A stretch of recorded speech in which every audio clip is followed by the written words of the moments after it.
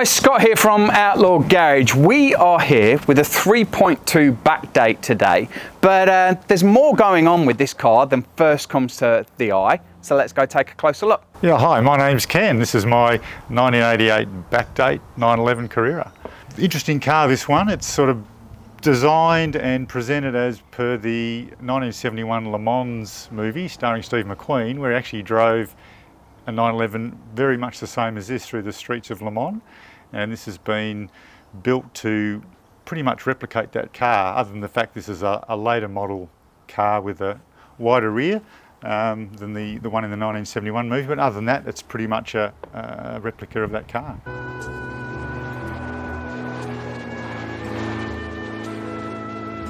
So I've seen this car float around and we've been meaning to kind of catch up for a little while about this car because I was unsure of the base where the car had come from and how things kind of happened with the car. So originally, so it's a 3.2? It's a 3.2, originally out of the US. So it was a cab imported into Western Australia out of the US. A cab as was a cab. it?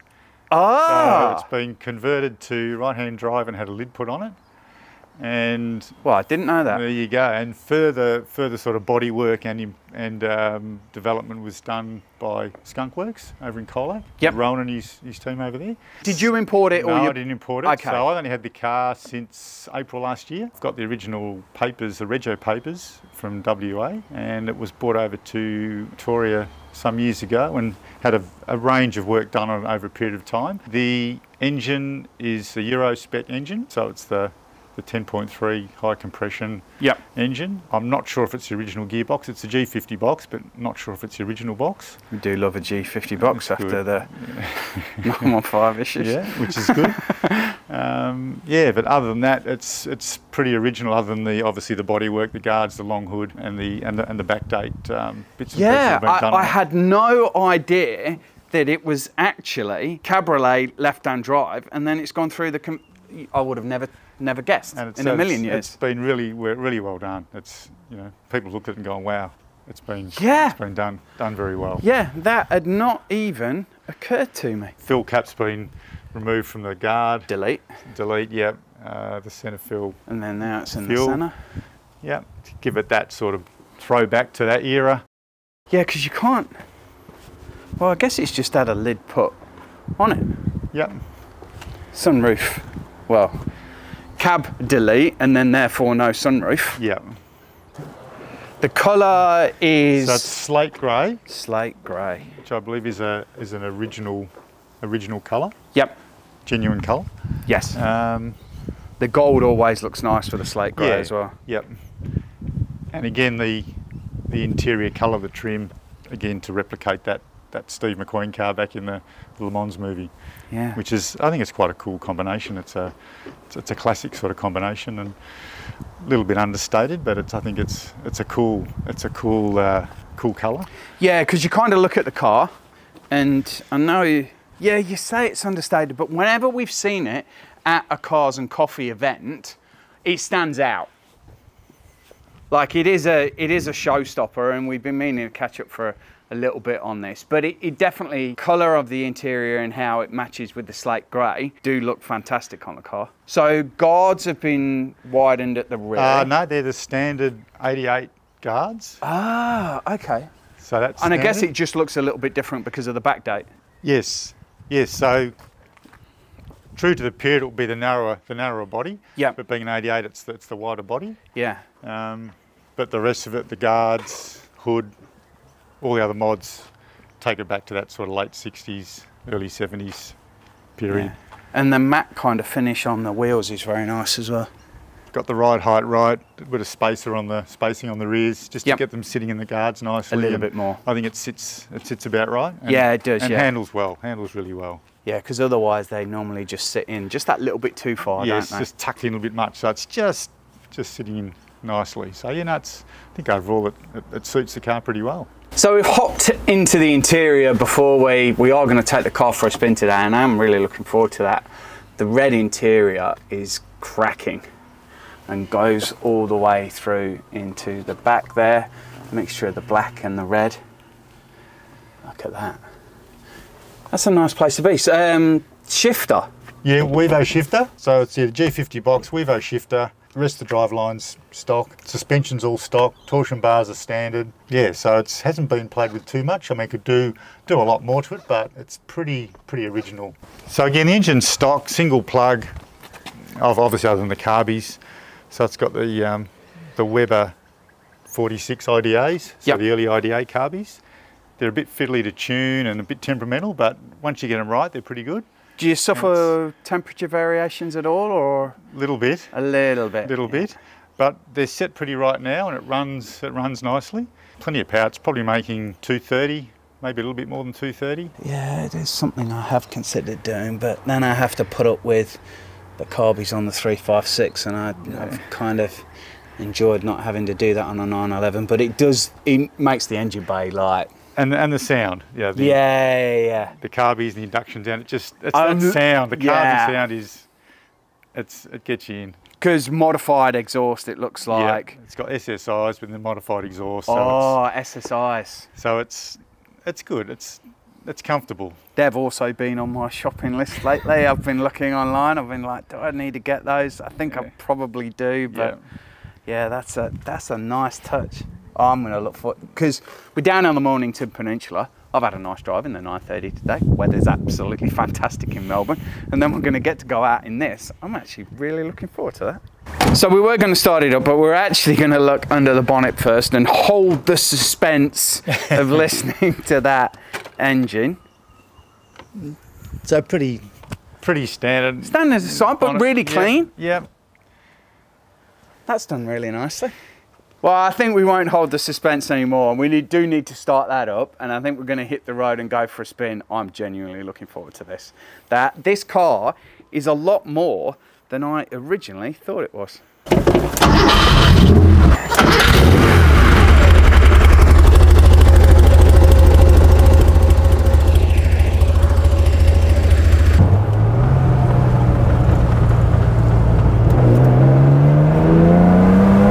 Across the car about a year and a half ago. Actually got to drive it. It was a bit of a different configuration than what it is now. It had a ducktail and a few Yeah, things okay. quite the same. And I'm Denard and looked at it. Had an opportunity to do something then, but didn't didn't engage in it. And sort of forgot about it. Thought, oh, I'll come back and keep looking. And Yeah.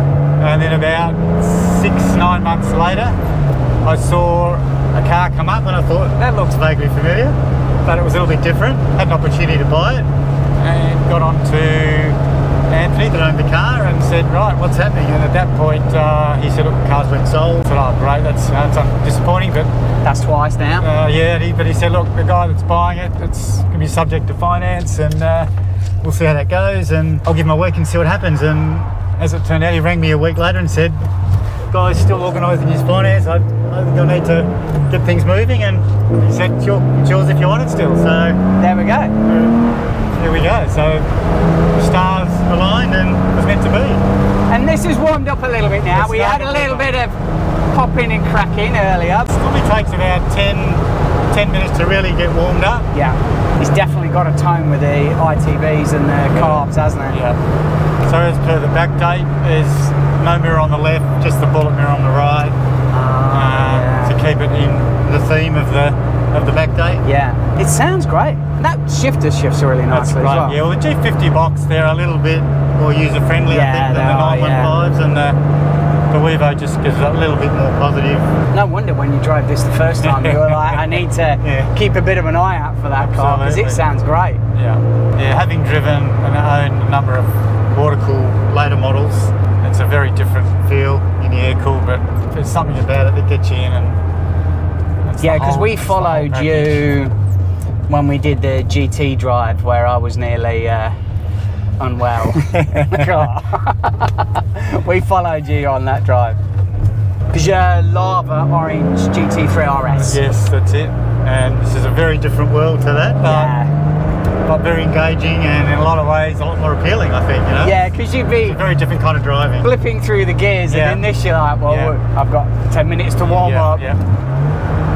Just the feedback you get, it's just full analog, going from full driver assist, traction control, power brakes, power steer, everything to no traction, no power steer, Because you said Manual it's brakes. got um, stock good. suspension. it. suspension, yeah. but it must have been really well. It's been, I guess, refurbished because the way you move the steering wheel and the way the car actually moved Yeah. is is direct. Yeah. Well, the bushes were all done, front end bushes. Yeah. It's got turbo tie rods. Um, so the Ah, few okay. things brought up to date Yeah. um, just prior to me purchasing the car. yeah. So not your standard s- suspension setup. This Yeah. is A little bit tweaked. I noticed It's, it's 'cause- very tight. Yeah, because when you came in here and you went, I was like, oh, that's not stop. It's- There's yeah, something Yeah. that that's had something done So had a it. couple of things done just Yeah, I could tell straight away. New brake lines, just a few things that needed tidying up. But the responsiveness on the carbies, it's Yeah. it's, it's a different, little bit different drive. It's good.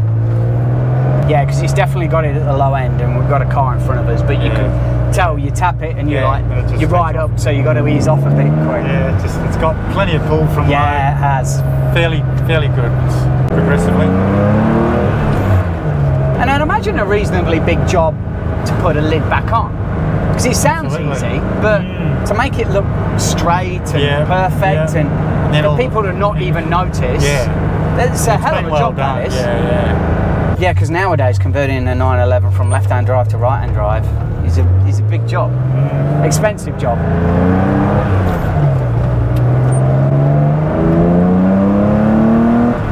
Yeah, it's just vintage, isn't it? It's got that. It's got that note. But even at this speed, like we're stuck behind a truck here or a car here, like it still idles well and drives. 'Cause you said your wife drives this all the time. Yeah, Lisa hops in and drives. it. Yeah. She loves it. It's a race for the keys. Although we talked about earlier, the fenders are the original fenders, so they, it's all steel. So the steel fenders, yeah. But the bonnets currently at the moment Yep. glass. glass bonnet, correct? Yeah. But there's a project in progress Yes. to revert that to a steel, Steel, one. yeah. So try and get the car as authentic as possible. Yeah. And lucky as well, because the guys who painted the car, Skunkwerks, have still got leftover Still got paint, paint. That's correct. Yeah. to do that's the good. bonnet. So The there's no paint. colour matching, Nah. no nothing. It's just same paint, Yep. just on a different panel. Yep. Turn up, swap it over, carry on. That's it. So that'll be good. The worst part of going for a drive is when you're turning around, you've got to go back home and you go, oh, I'm going to put it back in the garage now, Yeah. I'm going to be driving it. And you know, it is, it's just, it's, It's direct. It's, Yeah. it's very good. It's very good. because I notice all the quirks because every every car is that little bit different. Yeah. And even with mine, like my SC would be a little bit like this, a little bit higher temp. Yes. And it'd open up a little bit more. The 930 needs that little bit more before Yes. it really starts to Yeah, yeah, open to up and the yeah. oil really starts to flow a little free- bit more. freeze up and yeah. And then I've been in some people's cars, and even at a slightly lower temperature than this, they're like, nah, car's happy. All right. I'm like, they're just each one has Yeah, its yeah, little quirk. and- yeah. Yeah. Yeah, yeah, that's part of the appeal, I think. The fact that they've got this personality and Yeah. you, get, you get to know it. I've got to get better at my blipping as well. My blip is horrendous. it's just, I think it's just practice. It is, It's yeah. Sometimes you wouldn't call it a blip. No. It'd be just an over rev. Yeah, the heel toe thing takes a lot of practice. yeah, and I haven't quite not, got it. It's not easy. But when you get them right, it's very satisfying. Yeah, To have the feel on the brake pressure, so you're braking at the right rate, but also have the control yeah. to blip the throttle without upsetting your brake pressure. That Yeah. takes a little bit of practice. Yeah, I need to get better at that.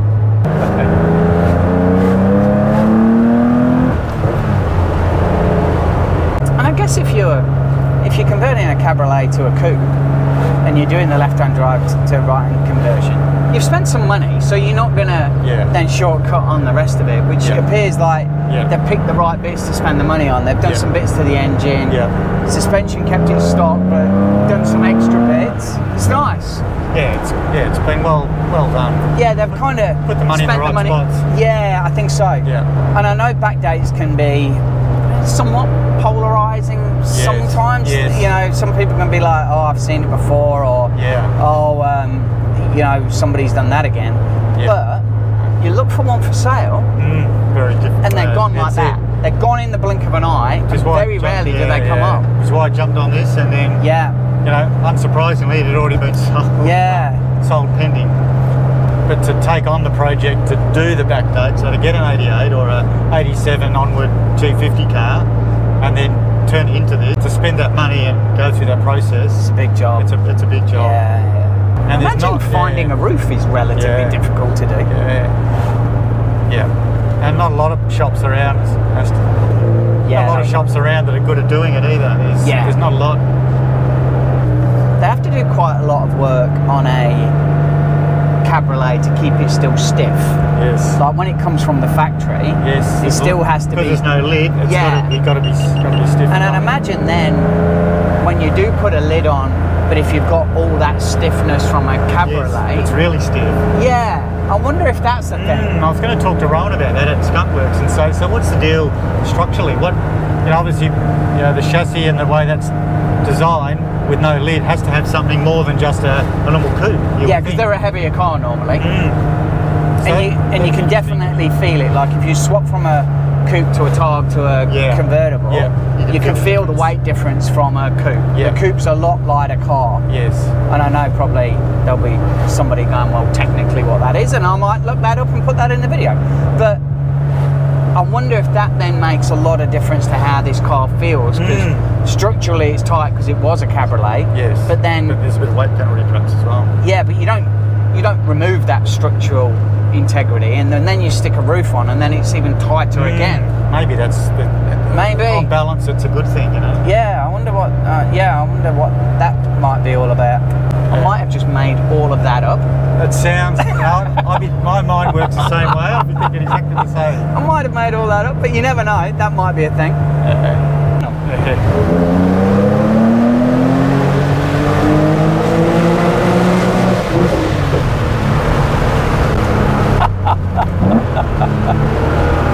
So like that. Yeah.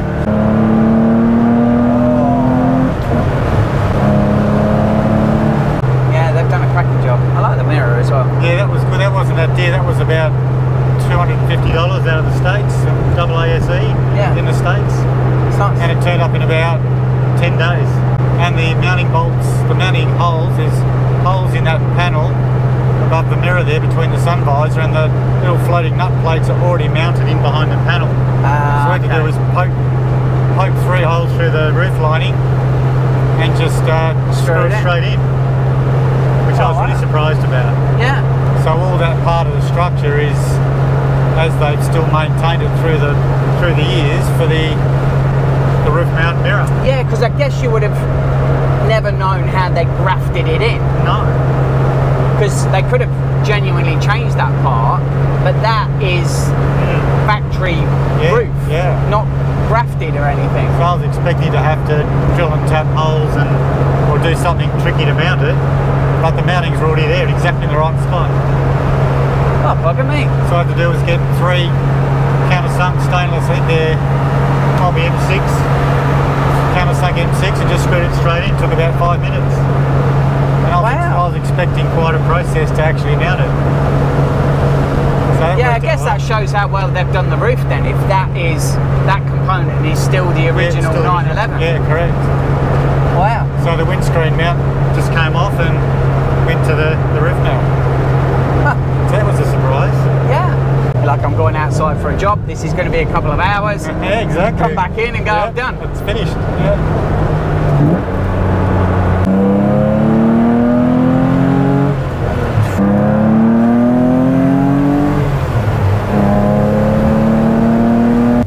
You can have with your clothes on, probably. Thanks, Ken, for this. This car had more going about it than I thought. So we, we've been messaged on Instagram a couple of times about we should cover this car. I had no idea it was a cabriolet and what had gone on. Didn't know about the carbs. Brilliant weather, brilliant day, and a brilliant day out in this. So thanks very much. Please give the video a big thumbs up. Subscribe to the channel. We've got plenty more coming. Stay tuned. See you later, guys. Bye.